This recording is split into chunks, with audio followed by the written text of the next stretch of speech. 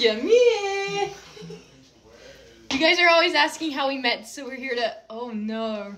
You didn't tell me I look like I just got out of bed. Me too. We didn't just get out of bed, don't worry, guys. But we're here to tell you how we met. Tell them. Where are you going? There's two stories. There's there is two stories. Let's hear your story. He's eating watermelon. You first. Bruh! Just kidding. Okay, so he followed me on Instagram and then unfollowed me on Instagram and then I followed him on Instagram and then he DM'd me. Your story, let's hear it. um, I followed her on Instagram. She didn't follow me back. I unfollowed her Why'd you Instagram. unfollow me? She didn't follow me back. He follows a lot of people that don't follow him back. Why'd you unfollow me?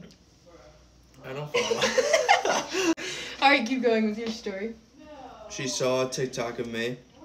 Um, and then she didn't go to my account. and then she saw another TikTok of me and finally went to my account.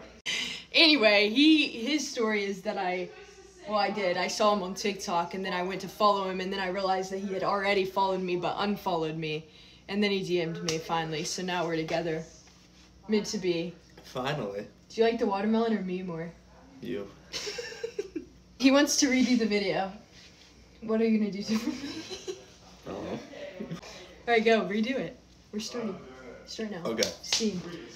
I followed her on Instagram. She didn't follow me back. I unfollowed her because she didn't follow me back. Then she saw a TikTok of me. Then she saw another TikTok of me.